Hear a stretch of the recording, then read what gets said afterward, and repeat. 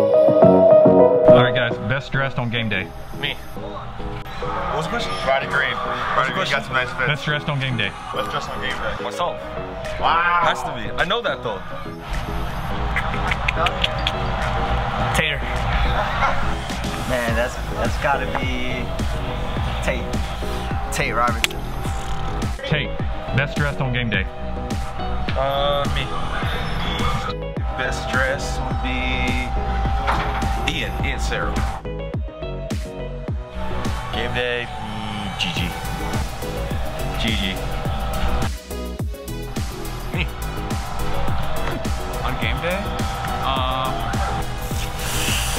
Uh, Travis does pretty well. Travis does well. Uh, Luke. Travis and Luke.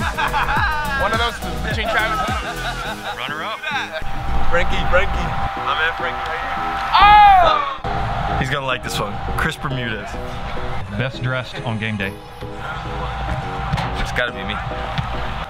That's the style I will always go with mine. I'm gonna say Juan Hernandez.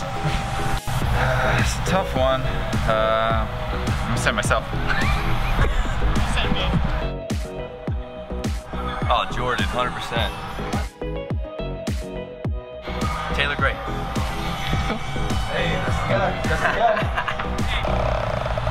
Red. Um, red. That's a good one. What do you think? This guy, he tries the hardest. You try the hardest, that's